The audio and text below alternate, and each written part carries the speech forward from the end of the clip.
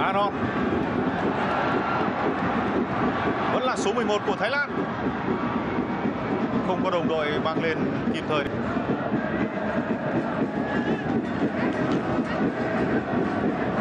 Sufanak cơ hội đối mặt dứt điểm. Tỷ số là 1-0 cho U23 Thái Lan. U23 Bahrain. Vâng, trong ờ, phần bình luận trước trận thì tôi cũng đã dành sự chú ý không nhỏ cho Sufanat. Cầu thủ mặc dù là trẻ nhất tại giải đấu năm nay, mới hơn 17 tuổi nhưng đã khẳng định được tài năng của mình trong màu của U23 Thái Lan và cả đội tuyển quốc gia. Một tình huống là dứt điểm đơn giản, gọn gàng của Sufanat. và tình huống ghi bàn vừa rồi cũng là một pha bóng SEA Games 30 cơ hội dành cho cầu thủ U23 Thái Lan căng ngang đến hai tình huống băng vào để ngăn chặn cú dứt điểm.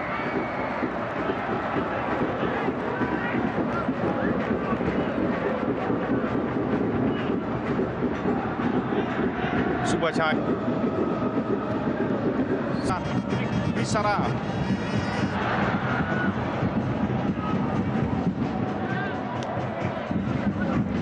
rõ ràng là những gì mà thầy trò huấn luyện viên thể hiện ờ, ở một trận đấu này là rất khác so với cách họ đã thể hiện ở SEA Games 30 chơi gắn kết và đầy hứng khởi cơ hội tỷ số là 2-0 cho các thủ U23 Thái Lan lần này là Subachok đây là người đã có cú dứt điểm trúng vào sòng gần cuối hiệp một và lần này thì Subachok đã làm tốt hơn rất nhiều sau một pha solo và dứt điểm từ góc hẹp Những cơ hội liên tiếp của Thái Lan, những cơ hội rất tốt của đã.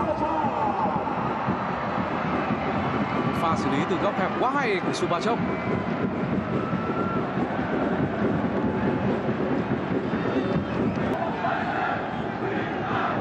Mahun. I know, không vào Mano Saleh rất kỹ thuật không vào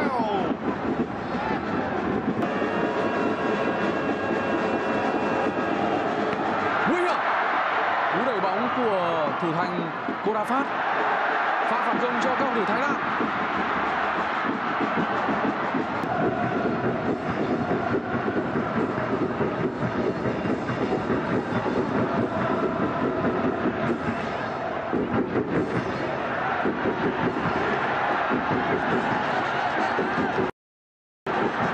Intercom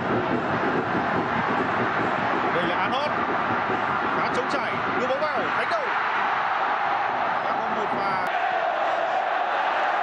cơ hội cho công cầu thủ Thái Lan. Tỷ số đã nâng lên 3-0 cho U23 Thái Lan. Rất đơn giản, và đó lại là pha lập công của Sufanat bàn thắng thứ hai.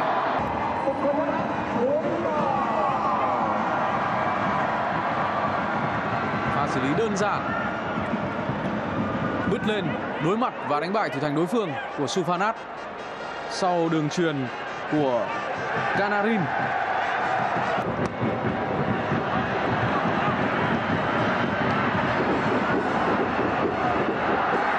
vẫn là các cầu thủ Thái Lan. Là cơ hội đi tiếp là rất khó khăn đối với các cầu thủ Bahrain. Mặc dù cũng còn hai trận đấu 4-0 cho U23 Thái Lan. Một chiến thắng quá ấn tượng của cao trò huấn luyện viên Nishino và Zarian sắc cầu thủ vừa được vào sân đã ghi bàn